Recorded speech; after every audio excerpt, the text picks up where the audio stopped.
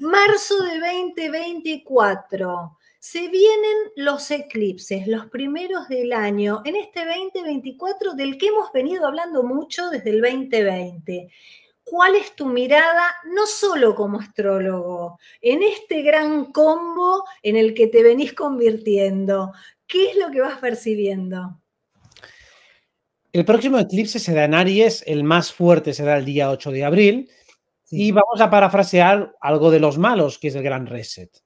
O sea, realmente este reinicio zodiacal en el signo de Aries, que es el primero, es un auténtico reinicio, porque es el primer eclipse que se da en Aries con toda la energía nueva de Plutón en Acuario, Saturno en Piscis, que van a continuar durante unos años.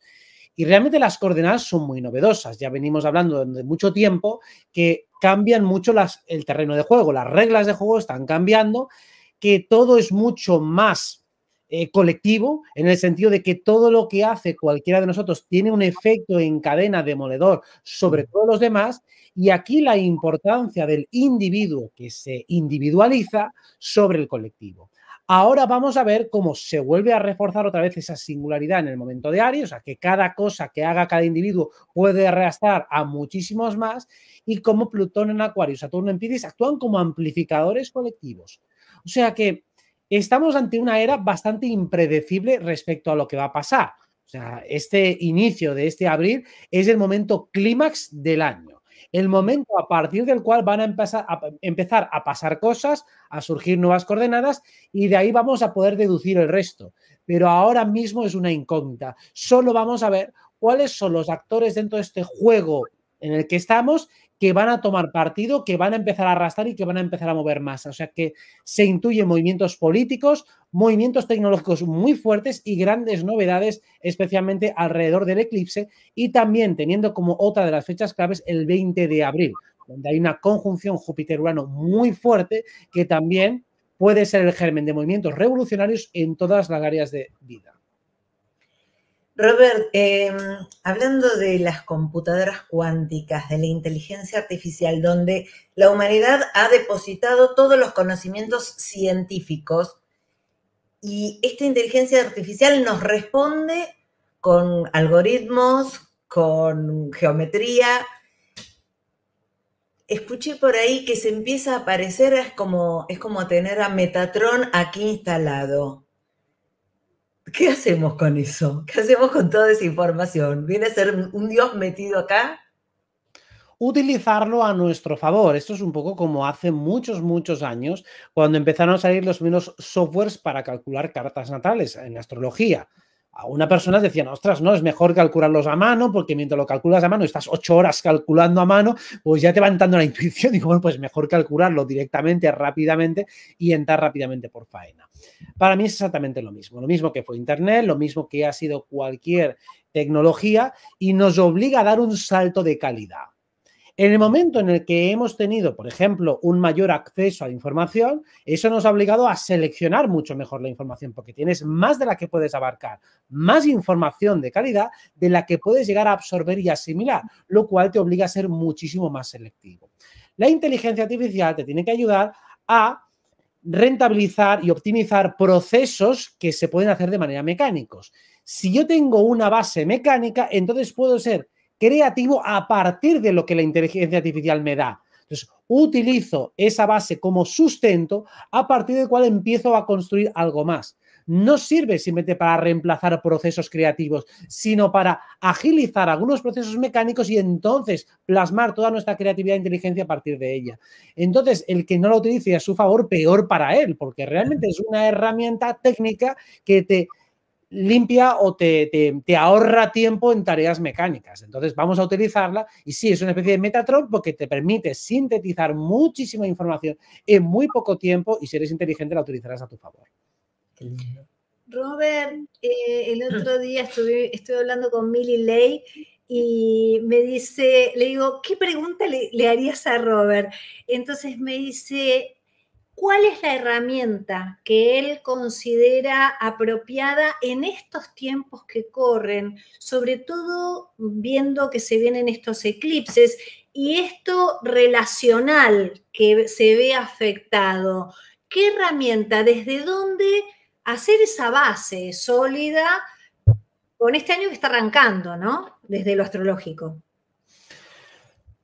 Para mí la herramienta base es la astrología, pero para el que no entienda la astrología o no la domine y demás, yo diría como, como enfoque, más que herramienta, como disciplina, la inteligencia emocional, que es eh, quizá la asignatura más pendiente en general y que mejor se complementa con todo camino espiritual.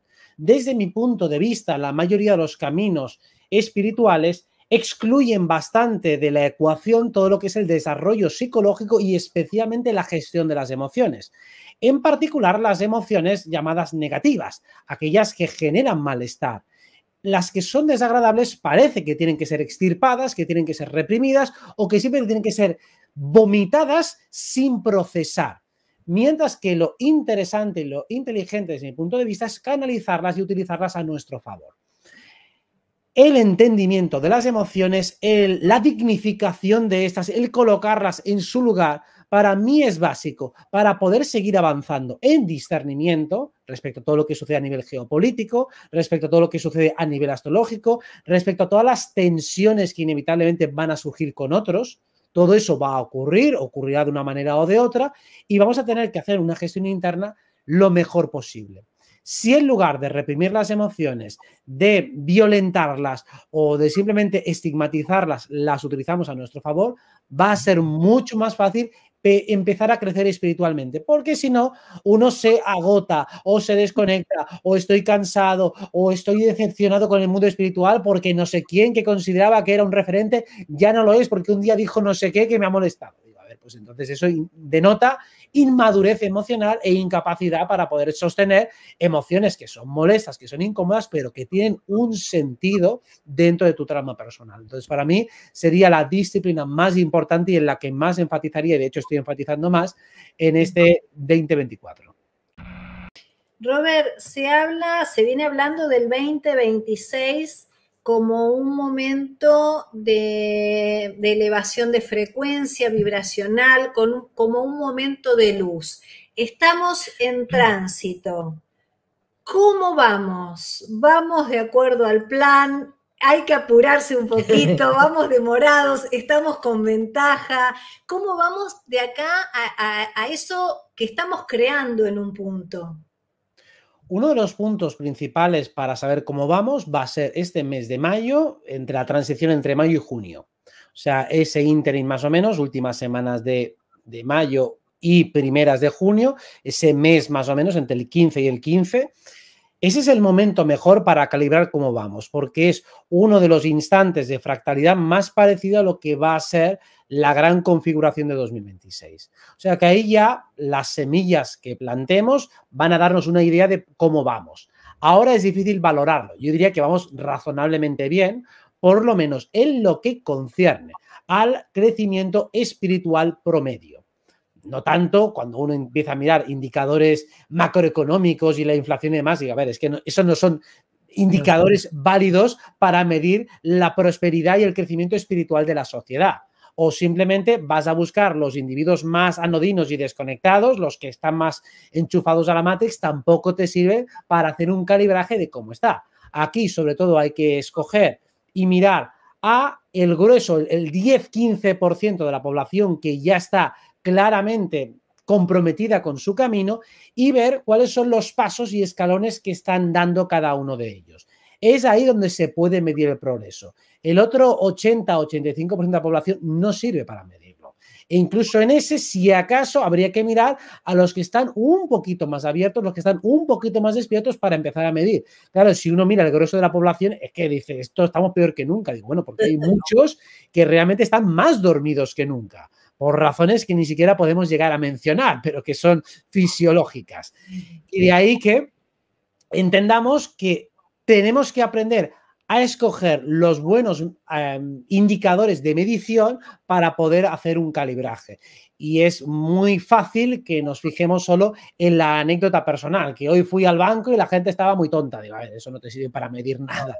Haz un calibraje energético y también fíjate en los divulgadores, en la gente que esté en los grupos, a ver si van poco a poco asentando conceptos que tenían muy difusos en 2020 y que ahora, pues poco a poco ves que sí, que eso ya está más que asentado y las preguntas filosóficas y los planteamientos son mucho más avanzados. Pues para mí eso es donde podemos realmente medir y yo creo que vamos bastante, bastante bien.